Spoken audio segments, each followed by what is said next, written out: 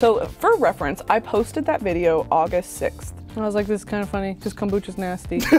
it did not do well on TikTok. Oh, Got really? Maybe a couple thousand likes. Someone downloaded the video, Uh-huh. uploaded it to gay Twitter, and it went viral. It got uploaded with the caption, me when I ate ass for the first time.